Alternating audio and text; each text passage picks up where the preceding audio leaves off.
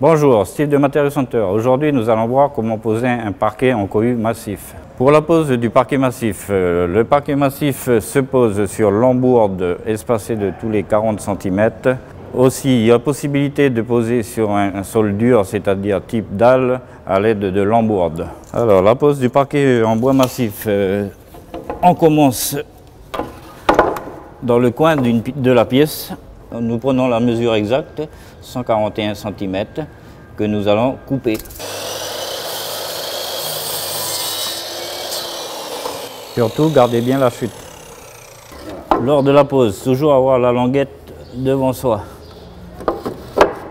Pour la pose du deck, il est préférable d'utiliser des vis spécialement prévues à cet effet afin de ne pas avoir les vis apparentes. Redémarrer en utilisant la chute.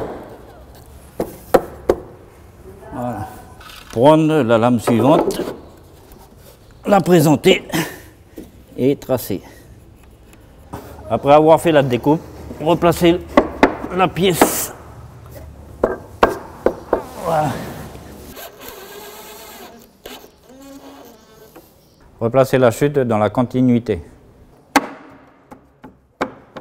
Reprenez la lame suivante. Prenez la côte qui va bien. Passez à la découpe. Répétez l'opération autant de fois qu'il le faut pour arriver au bout de la pièce. En fin de compte, la pose du parquet est très facile à faire.